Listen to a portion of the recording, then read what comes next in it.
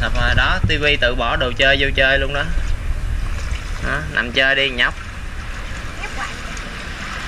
Để cho nước đầy rồi để cho mấy em chơi rồi. Tay ôn cho em không nước